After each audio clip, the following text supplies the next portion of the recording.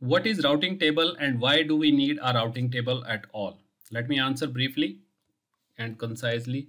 It is a table actually in each networking device, in each router, there is a table based on which it makes decisions that which path to take for forwarding the data packet. So it is a table stored in layer 3 devices which lists all the routes, metrics and next hop. So basically it has three contents, three major portions. The first one is called as routing network ID. The second one is called as metric and third one is called as next hop. So what are these three? Network ID is the destination subnet. It tells us, okay, for example, if you have to reach to another city, the city name is Dubai.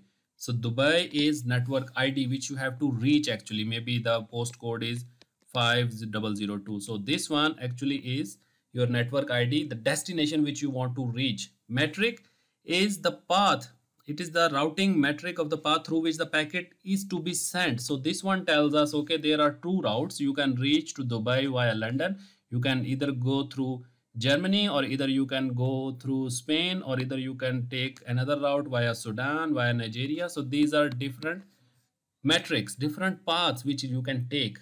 So it will tell you the best path actually. And then the next hop that which device. So after Dubai, where do you have to go to reach to Dubai? So this is called as next hop, the address of the next device through which it is only the next device. It does not tell you the whole route. It just tells you that, okay, from you have to reach to Dubai.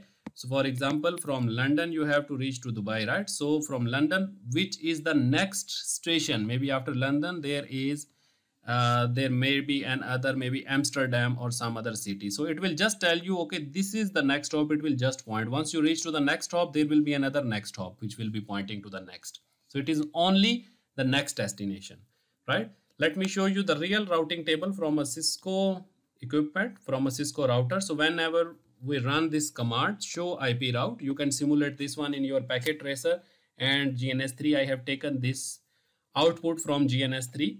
So which one says that how does the routing table look like? So this is the command I have run and it has given me some guideline.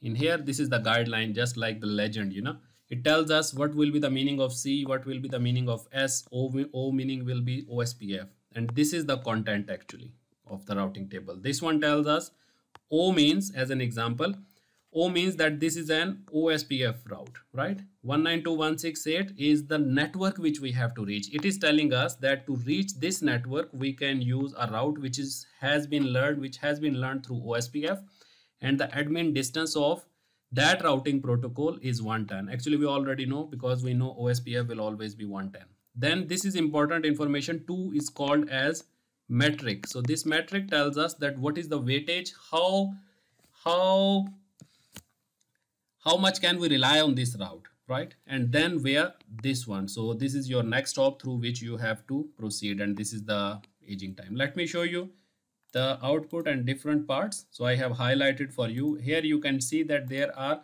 three parts mainly. One is network ID, admin distance and metric and the next hop. There are many other parts and in different vendors you will find a lot of other things. But these three parts will always be there. The first part says routing protocol. Of course, we know and then but in the language of routing we have to find the routing protocol from here. So 110 means ospf 1 means static route 0 means connected route 90 means eigRP so from this number we can find from this admin distance we can find which routing protocol is that. Although it is written here and then from the legend as well we can find this one right? So we can see here.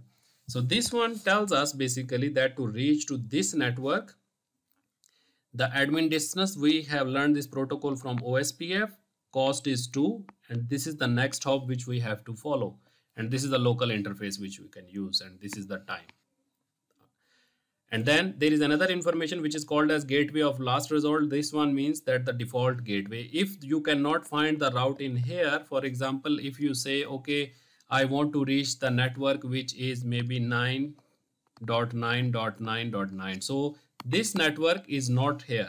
It means to reach this network, you will have to send it to your default gateway. So if you the router will start from here, it will try to look for that route 99999. No, it is not there. So finally, it will send to the default gateway. Default gateway or gateway of last resort from the name you can see that the last resort means whenever you cannot find the route then that packet will be sent to this one then it is up to the last resort or the gateway what does it do with that route? So this is basically all about the routing table and how to read the routing table within a router. We need to go to the CLI and then run the relevant command